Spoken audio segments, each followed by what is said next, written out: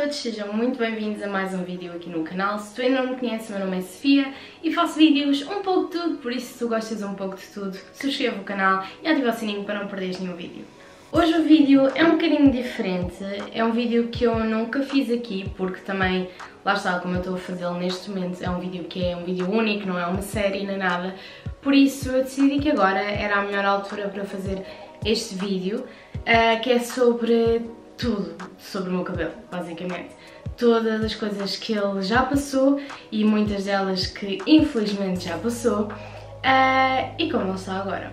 Então, por onde é que começamos? Uh, se cá pelo início, não é? Que é, eu tenho o cabelo liso agora e eu tinha o cabelo encarcolado.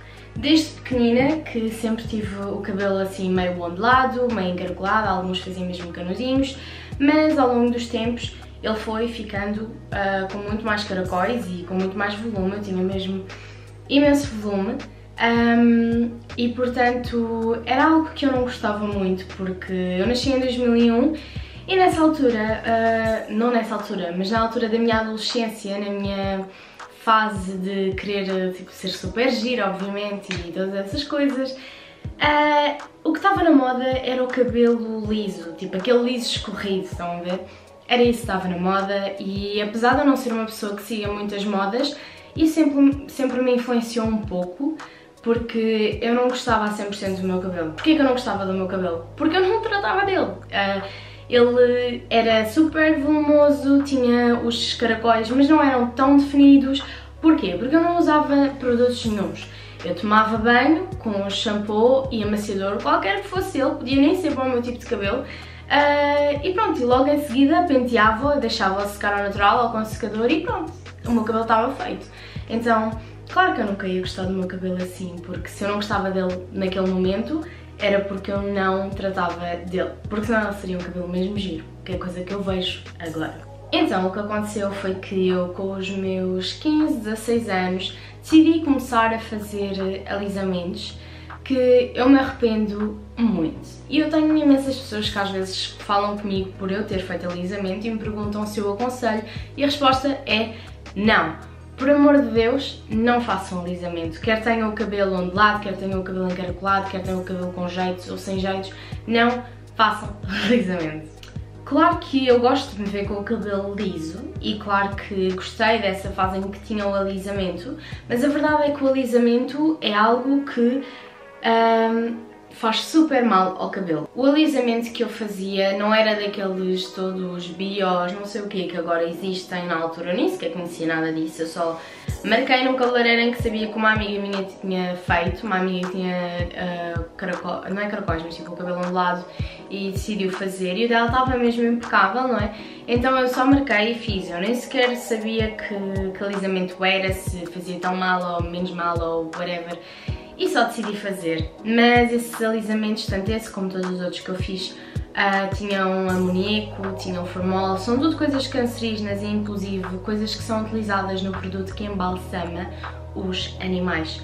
Ou seja, basicamente o vosso cabelo é embalsamado para permanecer estático liso. O primeiro alisamento que eu fiz não resultou super, super bem. Eu não sei se foi pela pessoa que o fez ou se foi pelo produto em si ou pelo meu cabelo em si, mas ele não resultou muito bem, ele continuava a ter ondulações. Eu voltei a fazer no mesmo sítio passado os tais 6 meses e continuava com algumas ondulações, até que eu me mudei para Lisboa e fiz em Lisboa que foi onde ficava perfeitinho, aquele liso escorrido mesmo como eu gostava. Só que também, obviamente, continuava a fazer super mal. E havia muitas pessoas que até diziam assim, ai, o teu cabelo parece tão saudável e tão brilhante. E a verdade é que ele aparenta isso, mas ele não estava isso, ele estava um caco e apesar disso não se notar quando ele estava esticadinho, lisinho, super bonito, um, nota-se agora quando eu estou a fazer a transição capilar, que é basicamente não ver vista aos meus caracóis como eles eram. Bem, mas esta é a parte dos alisamentos. Eu fui fazendo outras coisas no meu cabelo. Nomeadamente, eu pintei-o pela primeira vez aqui em casa com umas amigas, mas foi uma cor daquelas... Eu queria que o meu cabelo fosse uns tons abaixo daquilo que ele era, ou seja, eu tinha o cabelo castanho, claro, e queria que ele fosse assim mais alourado, assim um loiro mais escuro, um castanho mais claro. Sei que isto faz sentido. Então o que eu fiz foi com duas amigas aqui em casa, comprei aquelas cores do supermercado, que tinha visto um vídeo que aquela cor uh, descia sem precisar de descolorante um, uns tons abaixo e foi exatamente isso que eu fiz. Não tenho foto para vos mostrar, na altura tinha, mas eu já não sei onde é que ela está, por isso não tenho para vos mostrar. Mas a verdade é que o meu cabelo permaneceu intacto em termos de cor, mas foi mais um químico que eu espetei no cabelo. Top Xuxa! Depois, quando foi a grande mudança da minha vida para começar a pintar o cabelo, eh, é que eu fiz eh, chamada cagada. Foi isso que eu fiz. Então, eu tinha acabado uma relação e eu achei que... Sabem aquela sensação de vocês não se identificarem mais com a pessoa que vocês eram? Eu estava nessa sensação e decidi que ia pintar o meu cabelo. E eu não me arrependo de ter pintado o cabelo dessa vez, porque eu gostei muito de ter essa cor no cabelo, que foi preto. Eu achei que ficava mesmo bem, mas eu além de ter pintado o cabelo todo preto, Uh, eu fiz também umas mechinhas que saíam aqui das orelhas e eram para ser brancas, mas ficaram amarelas. Mas eu não me importava na mesma porque eu achava que ficava mesmo gira e combinava com o meu estilo e tudo. E eu não sei, mas eu, eu gostei muito. Mais uma vez, fiz aqui em casa, não fiz no cabeleireiro, fiz com uma amiga minha. Uh, e nesse aspecto, claro que são mais químicos no cabelo e foi com tinta de supermercado. Por acaso não foi com tinta de supermercado, por acaso dessa vez foi com tinta de uma é, aqui no nosso sítio chama-se Alur, mas na verdade é mais uma loja como a Pluricosmética e assim, são marcas mais profissionais, pronto. Um, nós seguimos tudo conforme as regras e até uh, correu bastante bem. A única coisa que eu me arrependo de ter feito é que nós pintámos o cabelo todo preto e só depois é que descolorámos. E eu acho que nós devíamos ter descolorado logo a partir da minha cor uh, natural E depois pintado de preto, porque assim teria ficado muito mais clarinho estas mechas daqui, como também não teria estragado tanto o cabelo por estar a pôr tinta em cima e depois estar a descolorar, depois não sei o quê e às tantas são muitos químicos. Eu ainda tive com essa cor durante um ano e tal, foi lá está, uma cor que eu acho que me ficava bem, era uma cor das consideradas cores naturais, não é? O castanho, o ruivo, o preto, o loiro, uh, e eu gostei muito, portanto ainda mantive com ela durante um ano e tal, mesmo com as madeixinhas e às vezes ia retocando as madeixinhas. Depois tive aquela fase em que cortava imenso o cabelo, portanto eu umas vezes tinha o cabelo por aqui, outras vezes tinha o cabelo por aqui e tive imensas fases dessas, como vocês estão a conseguir ver aqui pelas fotografias. Um, mas depois tinha aqueles vibes de querer voltar a ter caracóis. Tentava, de facto, voltar a ter caracóis, mas o que eu, o máximo que eu conseguia era ter umas ondulações, as quais eu não gostava. E portanto é aquele processo chato que o teu cabelo não é nem uma coisa nem outra e eu estava constantemente a desistir. Basicamente quase todos os verões eu tentava voltar a ter caracóis e acabava por desistir e voltava a fazer alisamento porque não gostava de me ver com o cabelo uma coisa e outra e tudo misturado e sem ser nada ao mesmo tempo. Depois passámos para janeiro, na altura em que eu fiz anos, uns dias antes eu ia para Paris e um ou dois dias antes de eu ir para Paris decidi pintar o cabelo. Nessa altura eu estava com o cabelo pelos ombros, uh, tinha cortado recentemente exatamente para voltar a ter caracóis, foi numa altura em que eu quis mais uma vez voltar a ter caracóis e desde aí de facto tenho mantido e não tenho uh, feito alisamento. Um, e o que eu fiz foi basicamente ir ao cabeleireiro, ela, eu ia pintar o cabelo como ele está agora, ela não deixou porque o meu cabelo estava muito, muito frágil e ele basicamente, quando ela pôs o descolorante, fez o teste de mecha, que é pegar uma mechinha para o descolorante para ver como é que o teu cabelo se comporta antes de passar para o cabelo inteiro um, e o meu cabelo ficou elástico, completamente elástico. Então ela não me deixou e disse que só me faria isso no futuro, quando eu tivesse o cabelo um bocadinho maiorzinho e que já não tivesse essa parte do cabelo estragada. Foi exatamente aquilo que eu fiz. E eu disse, ok, mas essa parte do meu cabelo está estragada, então corta. Então cortámos, cortámos pelos ombros, pronto. E depois nessa altura decidi então, em janeiro, cortar eh, o meu... ai, cortar, pintar o meu cabelo de Bordeaux.